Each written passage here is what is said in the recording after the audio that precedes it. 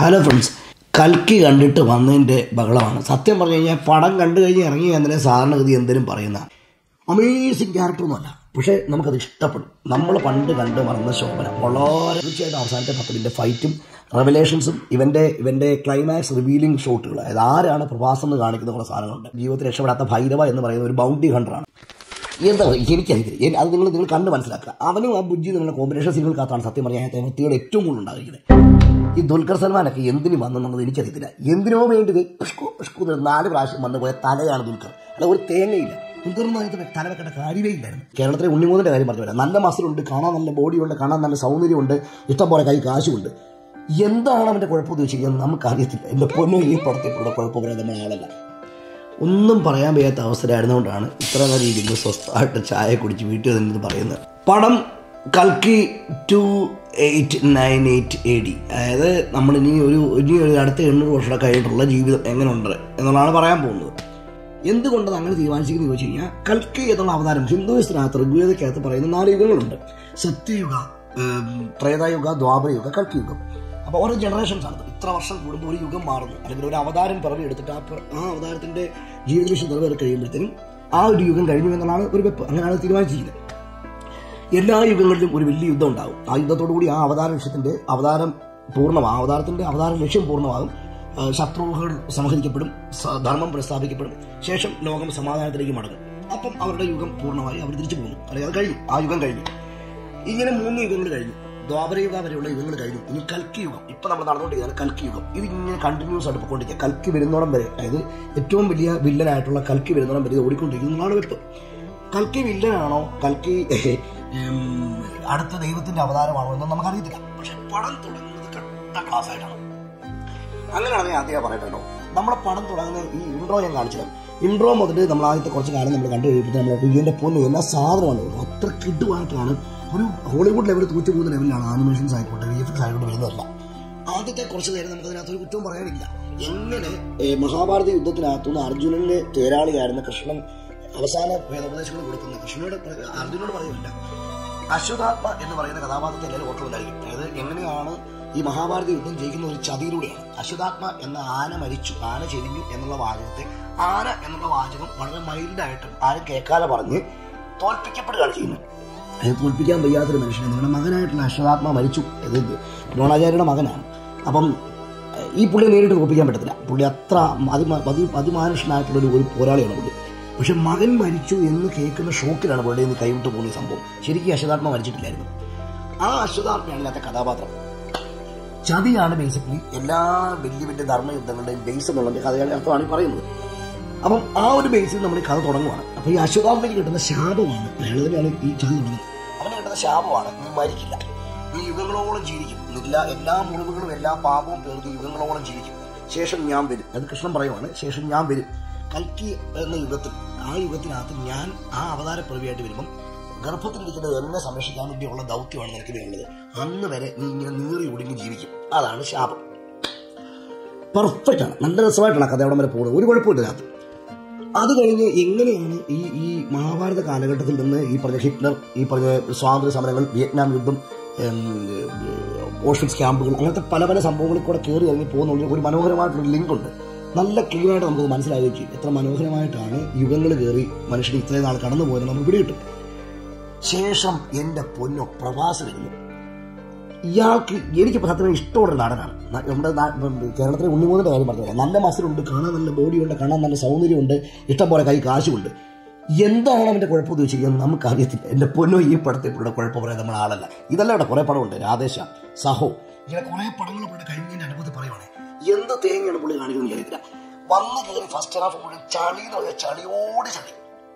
ഇങ്ങനെ ചെളി പറഞ്ഞ് അല്ലെ ചെളി കോമഡി കാണിച്ച് എങ്ങനെ ഒരു മനുഷ്യൻ ഇങ്ങനെ ഈ ഫീൽഡിൽ പിടിച്ച് കയറിയിരിക്കില്ല ഒന്നുകിൽ വീട്ടിന്റെ വീട്ടിൽ കാശ് ഉണ്ടായിരിക്കും അല്ലെ അവൻ അതുപോലെ കാശ് പമ്പ് ചെയ്ത് ഇൻട്രസ്റ്റ് ചെയ്ത് നടക്കുന്നുണ്ടായിരിക്കും ഇത്രയും പടം നിരത്തി പൊട്ടിയിട്ടും വീണ്ടും പുള്ളിക്ക് പണം കിട്ടുന്നുണ്ട്. എല്ലാ പടത്തിനും ഒടുക്കത്തെ സ്റ്റാർ വാല്യൂ ഈ പടത്തിന്റെ ബജറ്റ് എന്ന് പറഞ്ഞാൽ അറുന്നൂറ് കോടിയാണ്. അറുന്നൂറ് കോടിക്ക് ഒരു കാർട്ടൂൺ പടം എടുത്ത് വെച്ചിരിക്കുകയാണെന്നാണ് ഞാൻ പറയുന്നുള്ളൂ അല്ലാതെ ഈ പറഞ്ഞ ഹൈപ്പ് ഈ പറഞ്ഞ ബഹളം എനിക്ക് അത്രത്തോളം തോന്നില്ല അറുന്നൂറ് കോടിക്ക് കാർട്ടൂൺ പടം എടുത്തു വെച്ചിരിക്കുന്നത് ഞാൻ പറയത്തുള്ളൂ. ആ കാർട്ടൂൺ പടം ഇങ്ങനെ കേൾക്കണം. നമ്മൾ ഇംഗ്ലീഷിനകത്ത് മാഡ് മാക്സ് ഫ്യൂറി പിന്നെന്തുവാ ഈവൻ സ്റ്റാർ വാഴ്സ് അങ്ങനെ കുറച്ച് പടങ്ങളുണ്ട്. അതായത് ഒരു ഡിസ്റ്റോപ്പിയൻ കാലഘട്ടം. നമുക്ക് ഒരു ഒരു പോസ്റ്റ് അപ്പോക്കാലിപ്റ്റിക് ആയിട്ടുള്ള കാലഘട്ടത്തിനകത്ത് ഒരു ഭൂമി ഇല്ലാതായി കഴിഞ്ഞ് ആ കാലഘട്ടത്തിനകത്ത് ജോഗ്രഫിക്കകത്ത് നിന്നുകൊണ്ട് മനുഷ്യൻ എങ്ങനെ സ്വയം ഡെവലപ്പ് ആകാൻ ശ്രമിക്കുന്നു അല്ലെങ്കിൽ സസ്റ്റെയിൻ ചെയ്യാൻ സർവൈവ് ചെയ്യാൻ ശ്രമിക്കുന്നു എന്ന് കാണിക്കുന്ന കാലഘട്ടം. ആ കാലഘട്ടത്തിലെ ആ കാലഘട്ടത്തിലെ മനുഷ്യന്റെ വിശ്വാസവും വിശ്വാസ വിശ്വാസമില്ലായ്മയും പരസ്പരമുള്ള യുദ്ധങ്ങളും സർവൈവൽ വേണ്ടിയുള്ള പോരാട്ടങ്ങളൊക്കെയാണ് ഈ പടത്തിന്റെ കഥയെന്ന് പറയുന്നത്. അതിനെ മനോഹരമായിട്ട് ഹിന്ദുയിസമായിട്ട് ലിങ്ക് ചെയ്തിട്ടാണ് ഈ കാണുന്നത്. ഇത്രയേ ഉള്ളൂ പടത്തിന്റെ കഥ. അതാണ് കൽക്കി. ഒട്ടുക്കത്തെ കാശിയാണ്. അറുന്നൂറ് കോടിക്കകത്ത് ഈ പ്രവാസിന്റെ മാത്രം ശമ്പളം കൊടുത്തത് നൂറ്റൻപത് കോടിയാണ് എന്ത് കണ്ടിട്ടാണ് അറിയത്തില്ല എനിക്ക് ആകെ അകത്ത് വേറൊരു കോമഡി തോന്നി ഇവരെ കുറിച്ച് ഈ മൗലിയുടെ ഇതിനകത്തുണ്ട്. മൗലി യങ് മൗലി ഒക്കെ അറിയാം അവന്റെ കൂട്ടത്തിൽ മൗഗ്ലിയുടെ കൂടുതൽ എപ്പോഴും നടക്കുന്ന ഒരു ചെറിയ ഒരു അണ്ണാങ്ങിന് കൊടുത്തൊരു സാധനമുണ്ട് ഒരു വസ്തു ഇവന്റെ കൂട്ടത്തിലുണ്ട് ബുജ്ജി എന്ന് പറഞ്ഞൊരു ഒരു എ ഒരു ബോട്ട് ഉണ്ട് ഇവന്റെ കൂട്ടത്തിൽ നമ്മുടെ കീർത്തി സുരേഷാണ് ആ ഒരു ശബ്ദം കൊടുത്തിരിക്കുന്നത് എന്റെ പൊന്ന് വെറുപ്പിക്കുന്ന പറഞ്ഞാണല്ലോ നമ്മൾ പ്രാഗിപ്പോ അതായത് ഞാൻ കണ്ട തെലുങ്ക് സിനിമയാണ്. ഞാൻ തെലുങ്ക് കോപ്പിയാണ് കണ്ടത് ഇവിടെ റിലീസ് തെലുങ്കായിരുന്നു എന്റെ ദൈവമേ എന്റെ നാട് ചുറ്റിയിരിക്കുന്ന ഒരു തെലുങ്കന്മാർ വളരെ അപൂർവമായിട്ടാണ് ഭയങ്കര ക്ഷമയോടെ ചെയ്യുമ്പോൾ എന്ത് ടൈപ്പ് സാധനം ഇട്ടാലും മതി നിന്ന് കാണും. അവന്മാർ വരെ പ്രാഗിയായിട്ട് വരുന്നു കാരണം ഈ ഒരുമാതിരി നിങ്ങൾ ഒ ടി ടിക്കകത്ത് ഇത് കാണുന്നെങ്കിൽ നിങ്ങൾക്ക് ഈ ഫസ്റ്റ് ഹാഫ് ഒരു ഒരു അരമണിക്കൂറിൽ തീരും. അരമണിക്കൂറിൽ ഫസ്റ്റ് ഹാഫ് നിങ്ങൾ തീരും. കാരണം അത്രയും ക്ഷമയോടെ നിങ്ങൾ ഇരിക്കത്തില്ല. ഇത് തിയേറ്ററിലായി പോയിട്ട് മാത്രമേ നമ്മളിങ്ങനെ "ഓ, ഈ എന്തൊക്കെയോ കാണിച്ചുകൊണ്ടിരിക്കുന്നു അല്ല വേറെ വഴിയില്ല. നമുക്ക് ഓടിക്കാൻ പറ്റത്തില്ലോ ഫസ്റ്റ് ഹാഫിന്റെ ലാഗ് കഴിഞ്ഞാൽ പിന്നെ സ്കോർ ചെയ്യുമ്പോൾ അമിതാഭ് ബച്ചൻ ദീപിക പതുക്കൊണ്ട് ശോഭന. ഈ ദുൽഖർ സൽമാനൊക്കെ എന്തിനു വന്നു എനിക്കറിയത്തില്ല എന്തിനോ വേണ്ടി പുഷ്കോ പുഷ്കു നാല് പ്രാവശ്യം വന്നു പോയ തലയാണ് ദുൽഖർ. അത് ഒരു തേങ്ങയില്ല. ദുൽഖർ എന്ന് പറയുന്നത് തല വെക്കേണ്ട കാര്യമേ ഇല്ലായിരുന്നു. അപ്പനം കണ്ടായിട്ട് കാണുന്ന ക്യാരക്ടർ ചുമ്മാ ഒരു പാട്ടിനിടയ്ക്ക് നാലേ നാല് സീൻ ചെറിയ ബിറ്റ് പോലെ പാസ് ചെയ്ത പോയാണ് ദുൽഖർ സൽമാൻ. അതിലും ഇപ്പോൾ ഫേസ്ബുക്കിൽ കിടന്ന് ഒടുക്കത്തെ തള്ളതെന്ന് തള്ളുന്ന കൂടി. വാവ് ദുൽഖറിന്റെ അമേസിംഗ് പ്രകടനം. തേങ്ങയാണ്. നിങ്ങൾ കണ്ടിട്ട് സംസാരിക്കുക പിന്നെയും അന്നാബിൻ നമ്മുടെ മലയാളത്തിൽ കൊണ്ടുവന്ന അന്നാബിൻ. അതിതുപോലെ അജു ചിരിക്കട അജു എന്ന് പറഞ്ഞ് ദേ വന്ന് ദാ പോയി. അടുത്ത പഠിക്കാത്ത അവൾ പോയി. അത്രേ ഉള്ളൂ. ഇത്രയും ക്യാരക്ടർ ഇത്രയും സ്പേസ് ഇവർക്കൊക്കെ ഉള്ളൂ. സ്കോർ ചെയ്താണ് അമിതാഭ് ബച്ചനാണ്. കുറേയേറെ നാളിന് ശേഷം ഓഫ് കിടുക്കനായിട്ട് തകർത്തിട്ടുണ്ട്. തകർത്തിട്ടുണ്ട് പുള്ളി. പുള്ളിക്ക് അതിങ്ങനെ മുഴുനീള റോൾ പോലെ. അതായത് പുള്ളി വന്നിറങ്ങുന്ന സമയം മുതൽ അവസാനം വരെയും പുള്ളി തകർത്തിട്ടുണ്ട്. പുള്ളിയാണ് ഈ പറയുന്ന ആദ്യത്തെ ആദ്യം ശവിക്കപ്പെട്ട ആത്മാവായിട്ട് ജീവിക്കുന്ന യശോദാത്മ അതാണ് അമിതാഭ് ബച്ചൻ. അയാൾ അടിപൊളിയായിട്ട് ഇവിടെ പ്രായത്തിലും ഇവിടെ ആ ലെവലിനും ഗാംഭീര്യത്തിനും പറ്റിയ രൂപവും പെരുമാറ്റവും ആക്ഷൻസുമാണ് ഇവിടെ അടിപൊളിയാണ്.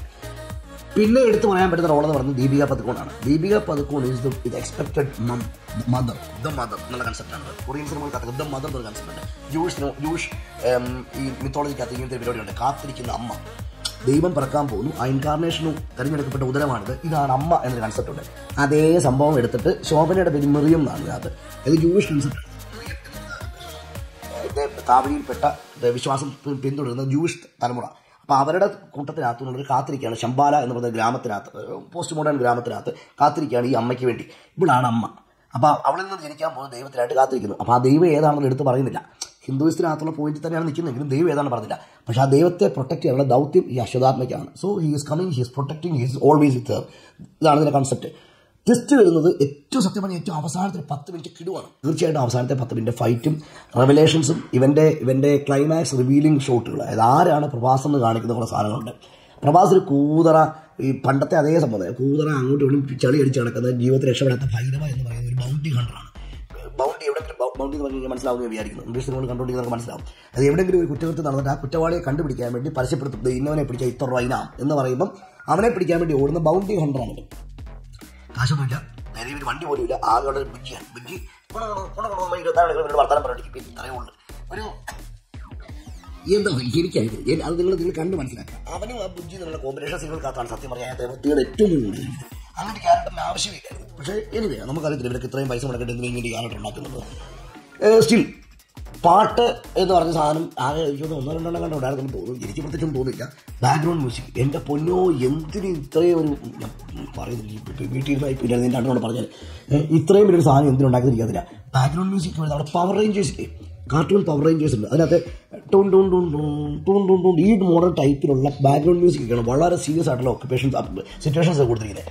പാവപ്പെട്ട അമിതാഭ് വരെ ഇത്രയും ഒരുപാട് മറ്റേ ബാക്ക്ഗ്രൗണ്ട് മ്യൂസിക്കിനകത്ത് താടിക്ക് കൈ കൊടുത്തിട്ടുണ്ട്. എന്തിനാണാവോ? എന്നെ കിടക്കാനായിട്ട് പൊലിപ്പിക്കാൻ പറ്റുന്ന എത്രയോ സിറ്റുവേഷൻ അറിയുന്നത് അതായത് മ്യൂസിക് കൊണ്ട് മാത്രം എലിവേറ്റ് ചെയ്യാൻ പറ്റുന്ന എത്ര സിറ്റുവേഷൻസിനാണെന്ന് അറിയാം വളരെ സിമ്പിളായിട്ട് ഇവിടെ നശിപ്പിച്ചുകൊണ്ടിരിക്കുന്നത് അത് ചില ഫൈറ്റ് സീൻസിനൊക്കെ വന്നിരിക്കുന്ന ബാക്ക്ഗ്രൗണ്ട് മ്യൂസിക് കേട്ട സങ്കടം വരും. പക്ഷേ ഇതാണ് അവസ്ഥ.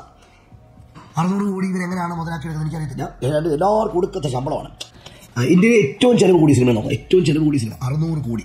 അതിൽ ഈ പ്രശസ്തമായ ഡയറക്ടർ വൈജയന്തി മൂവീസ് ആണ് റിലീസ് ചെയ്തിരിക്കുന്നത് നാഗ എന്റെ പേരിന് നാഗ് അശ്വിൻ റെഡ്ഡി. ആൾ തെലുങ്കിലെ ഹിറ്റ് ഹിറ്റ് മേക്കറാണ് തീർച്ചയായിട്ടും പുള്ളിക്ക് പുള്ളിയുടെ കഴിവിനകത്തോ കുറ്റത്തിനകത്തോ നമ്മൾ കുറ്റമൊന്നും പറയുന്നില്ല. പക്ഷേ എന്ത് തന്നെയാണ് ഇപ്പോൾ എടുത്ത് വെച്ചിരിക്കുന്നത് നമുക്ക് അറിയത്തില്ല ഇതിന്റെ സീക്വൽ വരുന്നുണ്ട്. അടുത്തത് സെക്കൻഡ് പാർട്ട് വരുന്നുണ്ട്. സെക്കൻഡ് പാർട്ടിനകത്തായിരിക്കും മല മറിക്കുന്നതാണ്ട് കഴിഞ്ഞ കുറേ കാലമായിട്ട് ഇവിടുത്തെ രീതിയുണ്ട്. ഇത് കൽക്കി യൂണിവേഴ്സ് ഉണ്ടാക്കി വെച്ചിരിക്കുന്നു. ഇനി സെക്കൻഡ് പാർട്ടിനകത്ത് കമലഹാസൻ വിരിഞ്ഞ് വിടർന്നു വരുന്നതാണ് കാണിച്ചിരിക്കുന്നത് അവസാനം. അപ്പോൾ ഇനി കമലഹാസനായിരിക്കും കൽക്കി. അല്ലെ അടുത്ത് എന്ത്? ഉണ്ടാകാൻ പോകുന്നത് നമുക്കറിയത്തില്ല. ഇനി അടുത്ത് തന്നെയാണെന്നുള്ളത് ഞാൻ അപ്പോൾ അടുത്ത പാർട്ടോടുകൂടി പടത്തിന്റെ ഫുള്ള് വേവിൽ എന്തൊക്കെ വരുമായിരിക്കും ഈ പാർട്ട് കാണുന്നത് കഷ്ടപ്പെടും മൊത്തേ കഷ്ടപ്പെടും. പിന്നെ ഇത് ഒ ടി ടിക്കകത്ത് കാണാൻ വേണ്ടി നിൽക്കുന്നവൻ എല്ലാ ആശംസകളും നേരുന്നു. നിനക്ക് കഴിവുണ്ടെങ്കിൽ കണ്ടു തീർക്കുമെന്ന് മാത്രമേ എനിക്ക് പറയാനുള്ളൂ. തിയേറ്ററിൽ കാണുന്ന ഒന്നും ഒരു വിഷ്വൽസ് കണ്ടെങ്കിൽ കുറേ നേരം വായി പിടിച്ചിരിക്കും. പിന്നെ കുറച്ച് നേരം ഉറങ്ങാനുള്ള ഇടയൊക്കെയുണ്ട് അതാണ് നമുക്ക് തന്നിട്ടുണ്ട് ഇഷ്ടംപോലെ ഉറങ്ങാനുള്ള ഇടം വന്നിട്ടുണ്ട്. പ്രഭാസ് ഏതായാലും നൂറ്റമ്പത് കോടി. അമിതാഭ് ബച്ചൻ മുഴുനീള കഥാപാത്രമായിട്ട് വരുന്ന ആദ്യത്തെ തെലുങ്ക് സിനിമ. പുള്ളിയുടെ മാത്രം ശമ്പളം ഇതിനകത്ത് ഇരുപത് കോടിയാണെന്നാണ് പറയുന്നത്. വെറും പതിനഞ്ച് മിനിറ്റ് വെറും പതിനഞ്ച് അല്ല ഇരുപത് മിനിറ്റ് മാത്രം താഴെ ഉണ്ടായിരുന്ന കഥാപാത്രമാണ് കമലിന്റെത്. കമലഹാസിന്റെത് പുള്ളിക്ക് കിട്ടിയിട്ടുണ്ട് ഇരുപത് കോടി. കൽക്കിയുടെ മാതാവായിട്ടാണ് ഈ സുമതി. അത് പറയാൻ പറഞ്ഞു ദീപിക പതുക്കോണിന്റെ ദീപിക പതുക്കോൺ ശരിക്കും ഒരു ഒരു മ്യൂട്ടന്റ് ആയിട്ട് വന്നിരിക്കുന്ന ഒരു ഇതാണ്. ഒരു ക്ലോൺ ചെയ്യപ്പെട്ടിരിക്കുന്ന സ്ത്രീയാണ്. അങ്ങനെയാണ് ഉണ്ടായിരിക്കുന്നത്. അപ്പം പുള്ളിക്കാരുടെ ഒറിജിനൽ ടൈറ്റിൽ നെയിം എന്ന് പറയുന്നത് അത് കോഡ് നെയിം എന്ന് പറയുന്നത് S U M eighty sum eighty എന്നാണ്. അപ്പൊ സും എയ്റ്റി നമ്മൾ ആദ്യം മുതൽ കേൾക്കുമ്പോഴേ നമുക്കറിയാം ഈ കഥാപാത്രത്തിൽ എന്നെ പേരിടാൻ പോലെ കുറച്ച് കഴിയുമ്പോൾ സുമതി. അയ്യോ അങ്ങനെ തന്നെ ഒരു മാറ്റമില്ല സുമതി. അയ്യോ ക്രിഞ്ച് എന്ന് പറഞ്ഞാൽ ക്രിഞ്ചോട് ക്രിഞ്ച് പിന്നെ പതിനെട്ട് വർഷത്തിന് ശേഷം. അത് അങ്ങനെയോടെ പറഞ്ഞു. ശോഭനയുടെ റോൾ അമേസിംഗ് ക്യാരക്ടർ ഒന്നുമല്ല. പക്ഷേ നമുക്കത് ഇഷ്ടപ്പെടും നമ്മൾ പണ്ട് കണ്ട് മറന്ന ശോഭന. വളരെ വളരെ എത്ര മനോഹരമായിട്ട് അഭിനയിക്കുന്നു. പക്ഷെ അത് ഭീകരമായ ഒന്നുമല്ല. ആ കഥാപാത്രം അത്ര വലിയ ഡെത്തുള്ളതൊന്നുമല്ല ബട്ട് ശോഭന പഴയ ശോഭന നമ്മൾ വീണ്ടും കാണുവാണ്. നമ്മൾ പണ്ട് കണ്ടു മറന്ന പഴയ ശോഭന. മോഹൻലാലിന്റെ മമ്മൂട്ടിയെ കുറിച്ചുണ്ടായിരുന്നു. ഇൻ ദാറ്റ് വേ നമുക്ക് വേണമെങ്കിൽ കണ്ടിരിക്കാം. പക്ഷെ ദുൽഖറിനെ കണ്ട് പുതിയ പിള്ളേർ ദുൽഖർ ഉണ്ടെന്ന് നോക്കുന്ന ഓടിക്കാറുള്ളത് ഒന്നുമില്ല. ഒന്നുമില്ല. ബാക്കിയൊക്കെ നിങ്ങളുടെ മനോധർമ്മത്തിൽ വിടുന്നു എല്ലാ ആശംസകളും വരുന്നു എൻജോയ് അടുത്ത റിവ്യൂ പിന്നെ കാണാം.